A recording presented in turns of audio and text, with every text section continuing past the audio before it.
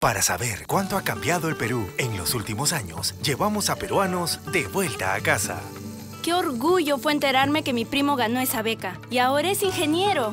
Me empezó a contar cómo ha cambiado el valle y no lo podía creer.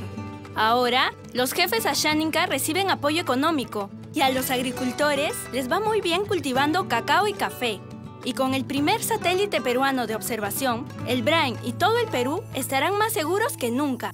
¡Qué felicidad ver mi valle más seguro y con más progreso! El Perú está cambiando y se nota. Por eso amo más a mi Perú.